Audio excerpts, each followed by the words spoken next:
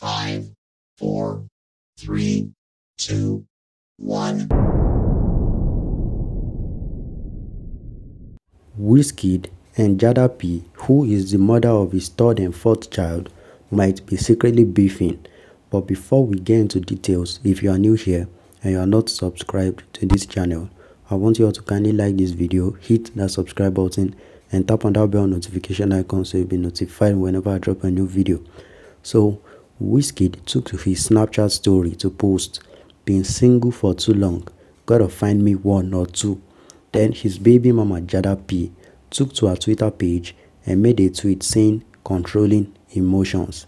She then made another tweet saying taking arguments to social media is never going to end well, which she deleted almost immediately. Well, what do you all think about this whole scenario? Let me know in the comment section below. Don't forget to subscribe for more Wizkid.